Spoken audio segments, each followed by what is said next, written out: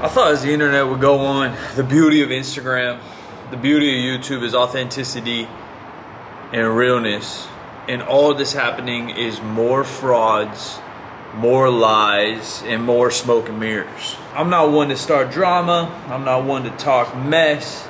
I'm not one to lead to negativity. But to me, it's actually pointing out wrongdoings rather than I'm not trying to gossip. Or the lack of integrity in the fitness industry has kind of been known. But from the biggest in the game, you know, the Liver Kings, Dwayne The Rock Johnson, the hypocrisy of trying to be this good guy, potentially running for president, kissing babies, shaking hands, hardest worker in the room, trying to make as much money as you can based off of lies is literally, to me, as slimy as you get. I understand that steroids are a touchy topic for a lot of people. I understand that they're illegal, that they're still very taboo in our age and our day. And even someone, I've never done them, but I've been around them for a very long time. I, I don't I don't know all about them. And look, I'm not perfect. I've never claimed to be perfect. All I've claimed to do is be me, to lead with my heart, to lead with my morals, to only provide content, information, and make money based on things that I truly think are good. You know, whether it be my my training programs, my my gym, uh, my apparel. I try to make it the best it is, and only sell it as it is. I don't sell it to be something it is not, and I don't sell me to be something I am not. Um, and to me, that is obviously the definition of integrity. I'm not going to sell you guys a beat up Honda, no offense to my Honda fans, and tell you it's a Ferrari, right? So, what, what message are we trying to send, and what message is it to our culture when the people that have the biggest following, influence, most views, most talked about, are arguably the biggest snake oil salesman in the game. What does that say about us? What does it say about them? I mean, the steroid thing's easy. You know, you can say simple things. You cannot answer the question. You cannot bring up the topic. You can simply say it's a part of the game. You can say I compete here. This is untested. Um, it doesn't have to be as complicated when you just come out and, and flat out lie is when I have an issue. And that goes for any topic. That goes for selling supplements and the type of supplements you sell. Um, the point is that there's a lot of young people and not young people. I ain't that young. And we're all highly fragile creatures.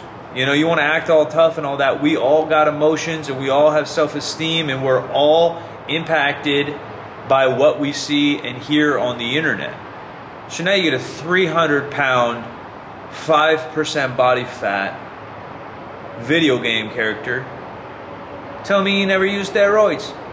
Man, I'm on TikTok, I just do a joke. It doesn't affect me as bad as it affects many people, and that's my issue, right? We got young people, we have people struggling with their journeys in the fitness game.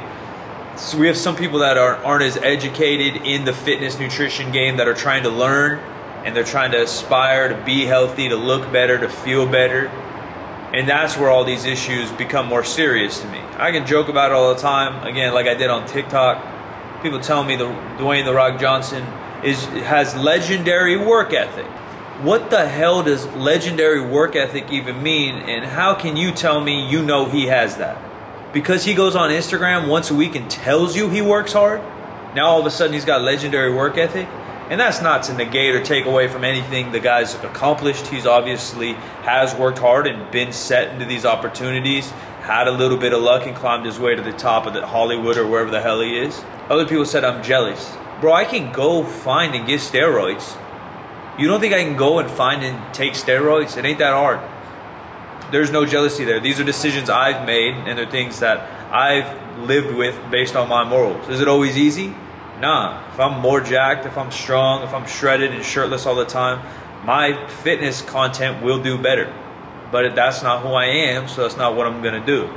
I just think that people get so lost in this internet stuff, and trust me, my whole life's on the internet. I get it. But you get so lost in this internet shit that because The Rock told you he works hard and hashtags hardest worker in the room, that now his work ethic's legendary? What does that mean? And why are we bowing down to these guys acting like they're gods? They're humans. And in my opinion, they're humans that lack integrity with their internet content. I can't speak on them day to day. I can't speak on them personally. I've never met these folks. But when I hear clips, see clips, or see posts from Liver King, The Rock Johnson, when they're blatantly lying to then turn around and monetize a product to sell to the masses, that's literally the definition of slimy and lack of integrity to me. Now, I'm going to let that negativity float. That's all I got. Sometimes I got to get off my chest. It frustrates the living hell out of me when there's so many great content creators, so many great businessmen that often lead with their hearts and aren't as successful. And that's frustrating. Um, sure, me, but also tons of my friends, you know? It sucks that these lies and this drama and the gossip and the clickbait, that is what allows you to succeed in this era of content, in this era of business, in this era of society and culture. Um, you know, they say you vote with your dollars. They say, you know, support your friends. And I truly believe in those things. And I'm going to try to continue to lead with my best foot, with my integrity, with my own moral code. And again, I can't judge another, another man, another woman's moral code, right? We all got to build our own code of ethics. Um, but those are some things that I, I can't I can't get away from. I, I open any app and I scroll around, and it's just bullshit in my face. So I'm gonna go back to my little home of lifting weights and designing clothes, trying to help y'all on your fitness journey, trying to design clothes that fix issues that I personally have with style and functional gym gear. Um, and I'll be in my corner when y'all need me, man. We over me. Be a part of something bigger than yourself, man. Silent Mike, I'm out.